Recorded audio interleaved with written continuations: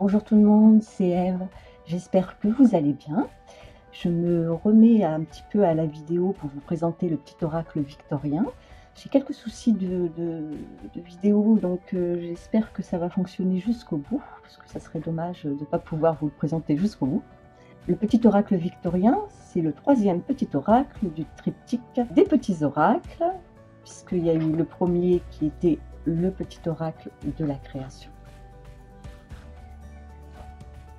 Le deuxième, qui était le petit oracle grimoire de magie.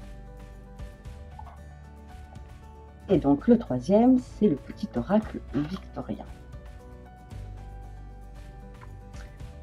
Je vous fais un peu la mise au point. Voilà. Donc évidemment, ce sont des petits oracles qui ne sont pas obligés de... Ils ne fonctionnent pas tous les trois ensemble. Hein. Ils sont totalement euh, différents et fonctionnent individuellement, mais vous pouvez également les utiliser ensemble.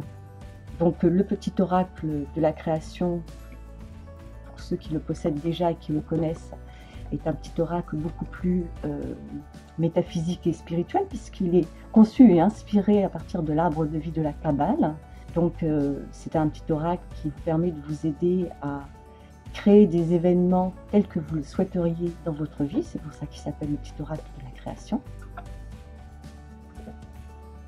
Le petit oracle grimoire de magie propose des mantras positifs de guérison par rapport à des sujets spécifiques qui sont indiqués sur les cartes, mais c'est également un petit livre des ombres qui permet de, réaliser des rituels pas à pas. Vous êtes totalement guidé, c'est-à-dire que vous n'êtes pas obligé de vous y connaître. C'est une initiation à la pratique de la magie de manière extrêmement simple, mais malgré tout avec des bases euh, plutôt traditionnelles sur l'utilisation des planètes, des phases lunaires, des plantes, des pierres, etc.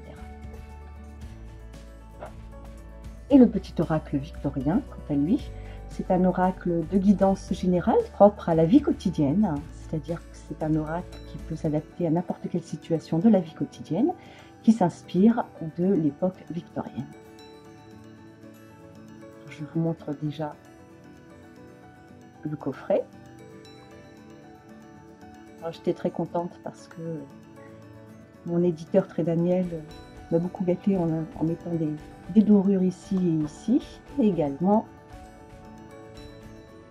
ici.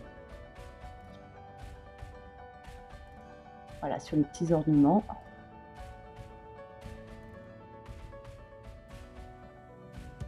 Le dos est ainsi.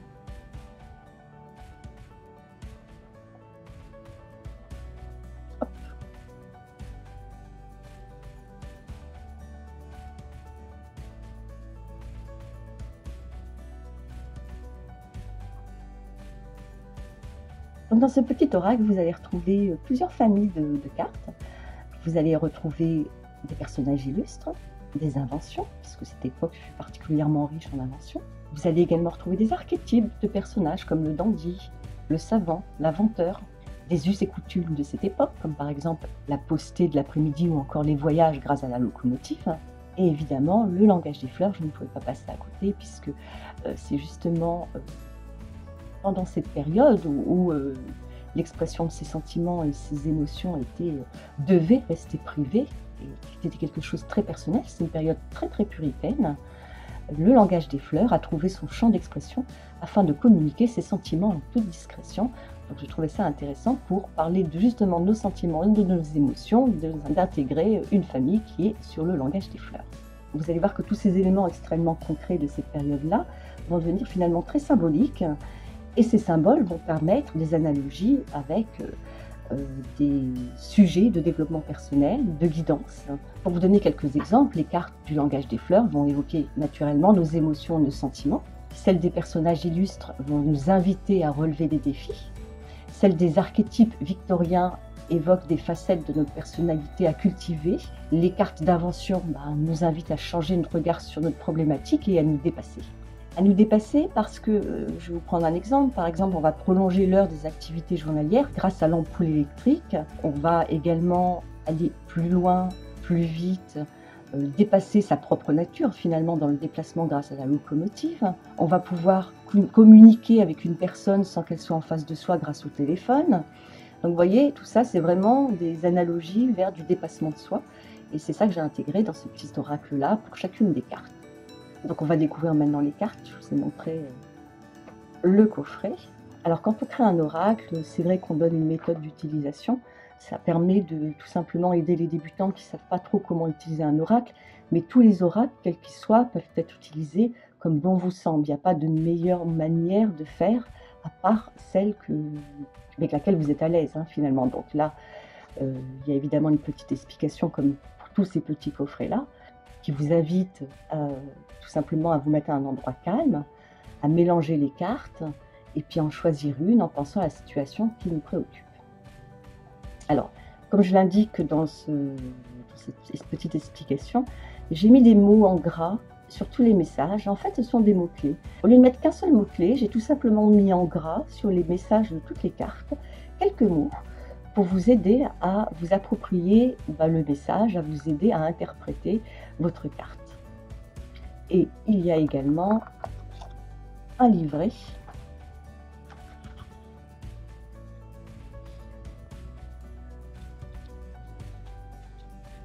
je vous ai intégré un petit livret euh, parce que je souhaitais que vous puissiez aller plus loin avec cet oracle, c'est-à-dire qu'il peut être utilisé en message de guidance, en message, en support de méditation pour une journée ou quand on vous semble, mais également réaliser des tirages. Donc je vous propose quelques tirages et puis je vous donne des conseils euh, pour, euh, pour interpréter votre tirage.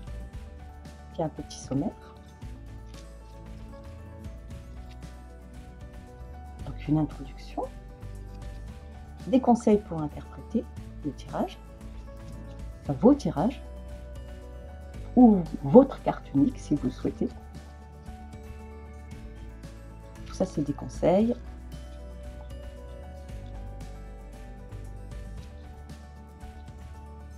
Et je propose donc plusieurs méthodes de tirage que j'ai créées spécialement pour euh, cet oracle. Donc vous allez avoir l'instant capture. L'instant capture, c'est l'appareil photo, hein, en fait, hein, pour avoir une vue générale de la situation. Et pour chaque méthode de tirage, je vous donne un exemple concret.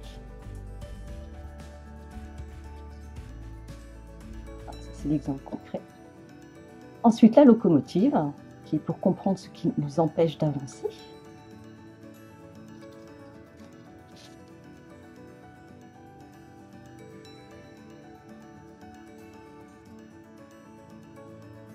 Par exemple, Chloé aimerait créer son entreprise, mais ses finances ne lui permettent pas de mettre en place son projet. Elle tire Dandy en carte 1, ce qui est la limite, et l'inventeur en carte 2, sa ressource.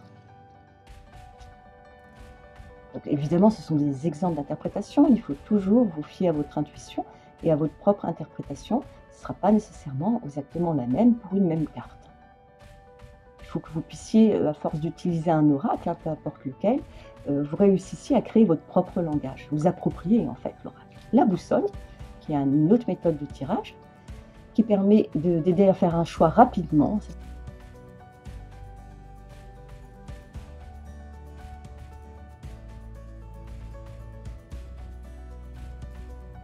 La boule de cristal pour entrevoir l'évolution d'une situation.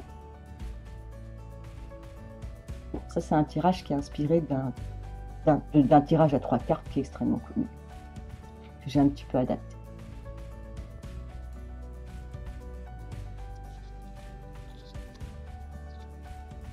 Le bouquet, pour savoir si un choix va te permettre de t'épanouir. Alors ça, c'est un tirage un petit peu particulier parce que il est, euh, il un peu plus divinatoire, on va dire. Hein. C'est un jeu qui peut s'adapter à la divination, on va dire, un peu plus au prédictif, un peu à la manière d'un le normand. Ce n'est pas du tout un le normand, mais vous pouvez l'utiliser de cette manière-là. Puisqu'il est extrêmement symbolique et euh, vous pouvez associer plusieurs cartes entre elles pour raconter une histoire. Euh, donc ça, c'est le bouquet où vous tirez des... En fait, comme je vous explique, certaines cartes ont une signification particulière. Le bouquet à droite, le bouquet à gauche, donc oui, non. Euh, si tu ferais fait preuve d'initiative selon la carte que vous aurez tirée. Tout est expliqué dans le livret, vous verrez. Je vous, laisse découvrir euh, cette méthode de tirage. Et l'encre et la plume, justement, qui est une méthode qui permet de trouver des solutions et des idées créatives. C'est là où ça ressemble un petit peu au le normand. Donc tu tires simplement les cartes une à une et tu te racontes une histoire et peut également nous aider à, comprendre un peu mieux notre situation. Donc je donne des exemples. Hein. La boussole d'envie. Il était une fois un choix fait par convenance mais qui ne me ressemblait pas. Le coquelicot, le magicien, l'alliance, était une fois une passion qui me permit de signer un Les ronces, le phonographe, la clé, il était une fois un sage conseil qui m'aida à débloquer une situation délicate, etc. etc. Je donne quelques exemples. Et après, il y a des mots-clés euh, complémentaires. en fait, vous vous rendrez compte que c'est, on, parle, c'est toujours les mêmes sujets qui sont abordés euh, par rapport aux, mots-clés qui en gras sur les cartes. Ce ne sont pas les mêmes, mais c'est exactement le même sujet, mais avec un angle de vue différent, de manière à ce que vous puissiez avoir euh, plusieurs interprétations sur un même thème pour une même carte.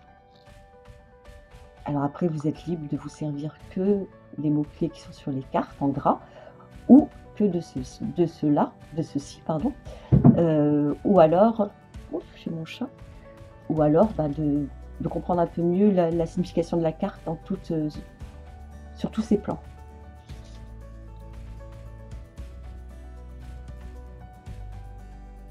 Voilà, c'est des mots-clés. Et puis après, j'ai voulu vous mettre un petit mot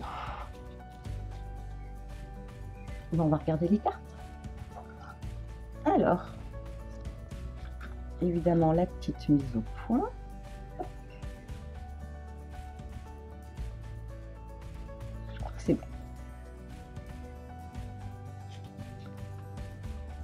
Il y a 50 cartes.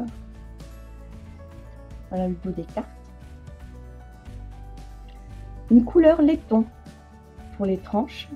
Je ne sais pas si vous voyez bien.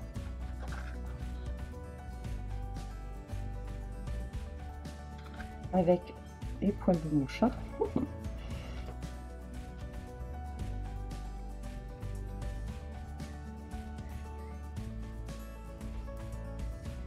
Encore une petite mise au point.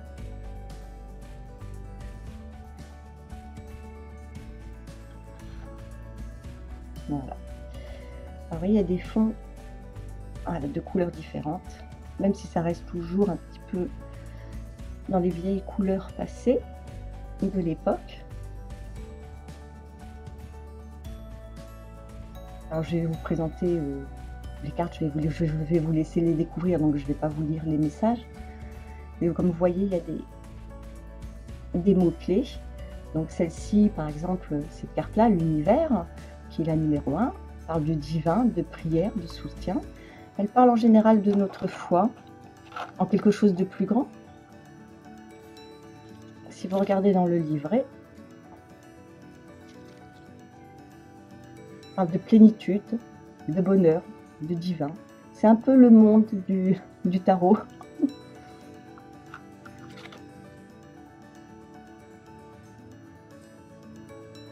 Vraiment un problème de, de mise au Voilà.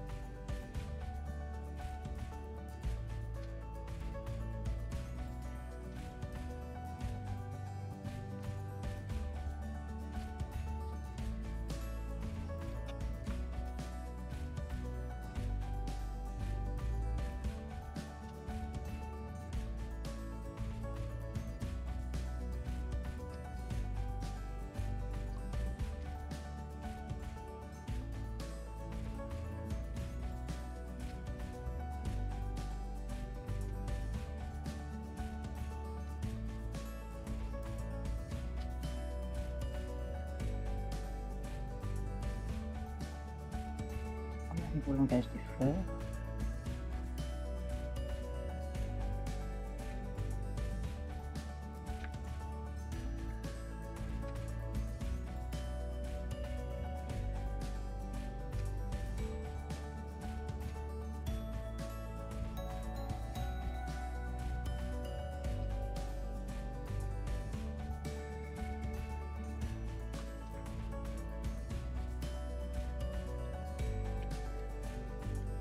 Et les Fantman. Euh, voilà, je voulais faire un petit, petit clin d'œil à cet être que j'apprécie énormément, Joseph Méric.